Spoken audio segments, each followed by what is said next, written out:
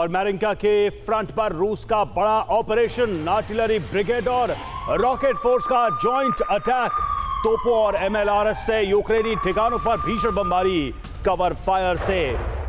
मैरिंका में घुसी यूक्रेनी फौज।